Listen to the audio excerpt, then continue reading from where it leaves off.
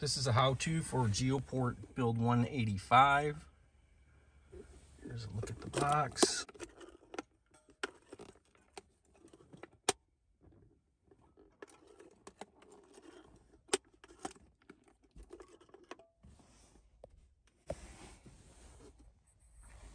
This box is uh, an easy one to use on the front. You have your main power on.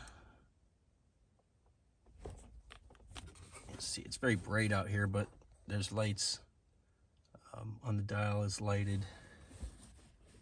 And right here you have your volume. Sounds like Bluetooth is on. To connect to Bluetooth, you'll use this here. It connected to my phone because I made the connection once before. To connect to your device, look for BT163 and connect to that and it'll say connected. You want to turn Bluetooth off for running the uh, radio scanner. In the back, you have your uh, six foot cord to connect your radio scanner to. And right here is your charge port um, for your uh, 6.8 amp hour internal lithium ion battery. This is the charger that comes with the device. You'll go ahead and plug that into the charge port right here.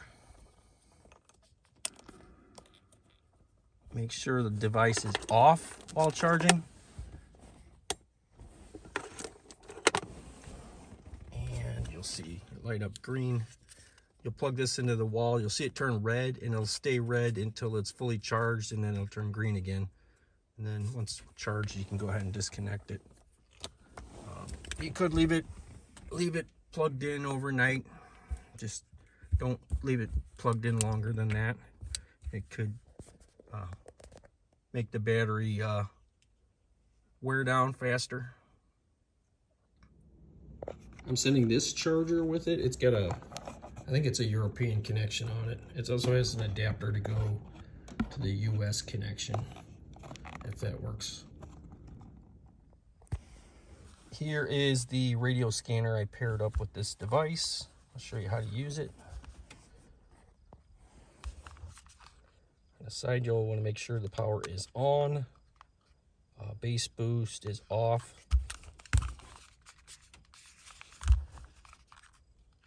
And the volume is all the way up.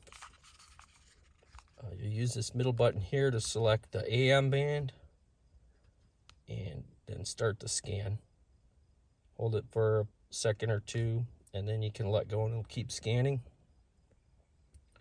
If you want to lock out this keypad so that it doesn't get bumped, you can switch this over to lock here and it'll keep scanning. Um, to connect to the box, take your uh, six take your six foot three and a half millimeter cord here. Um, if you're running it outside the box you go ahead and run it through this hole in the back plate like so. Then go ahead and plug this into the radio here right there in the back. All right. Now the radio is scanning. Just turn on your main power here and adjust your volume.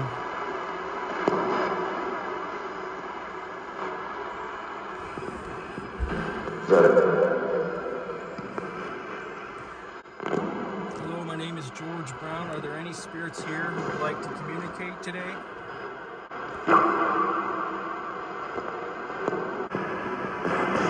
Go for best reception, so uh, set it up here high.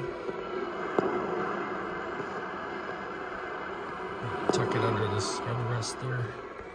so super. I can hear you.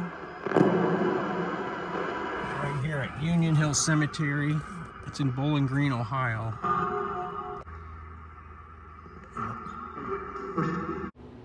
There's actually a little EVP right in the beginning. It sounds like a help.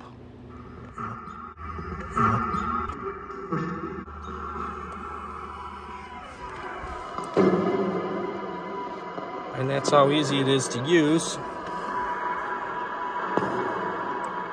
How many spirits can hear me today?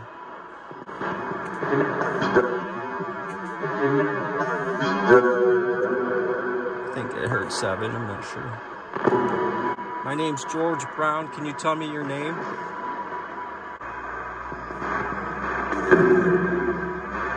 I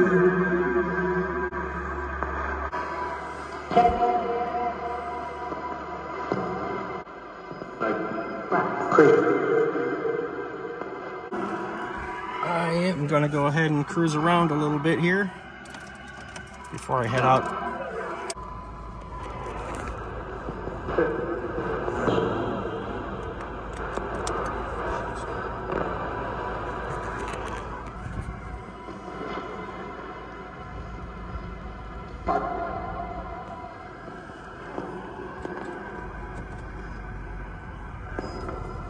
If there's any spirits that would like to speak, just go right ahead.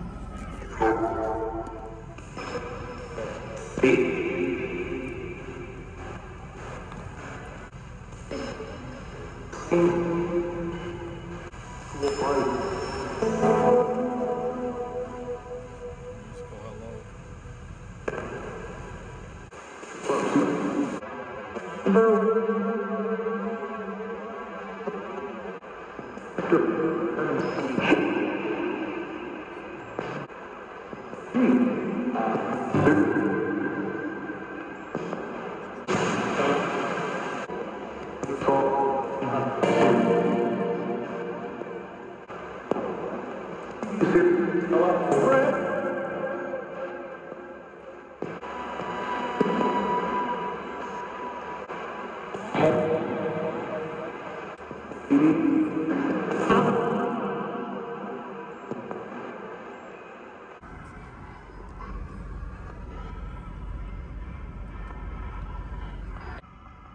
there at the end, that's the Civil War section.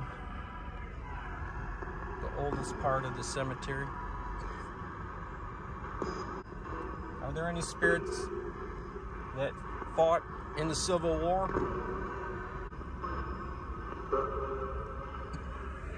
Here is the Union Hill, original Union Hill Civil War section here. You can tell it's the oldest part of the cemetery.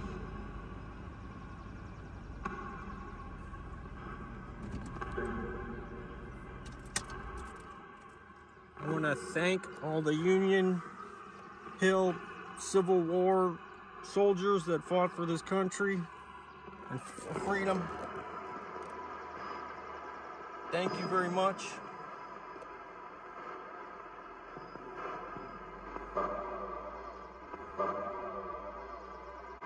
Are any of those soldiers around hearing me speak right now?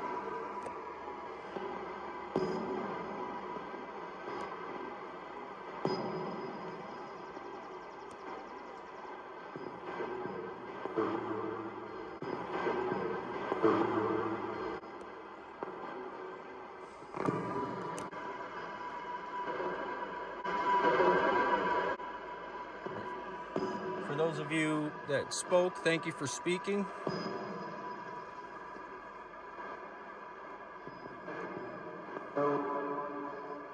Help.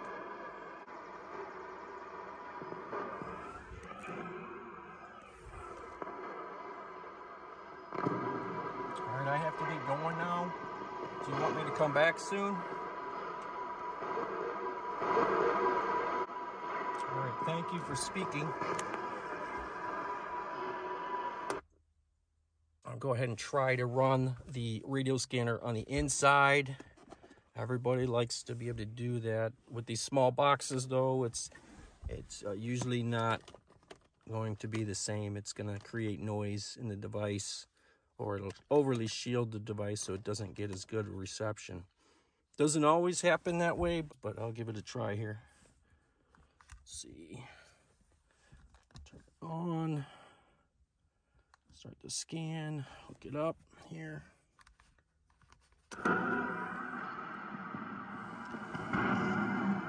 may just get noisy. Uh, actually, it's doing pretty good there.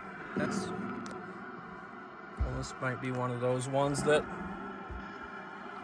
works properly in the sign.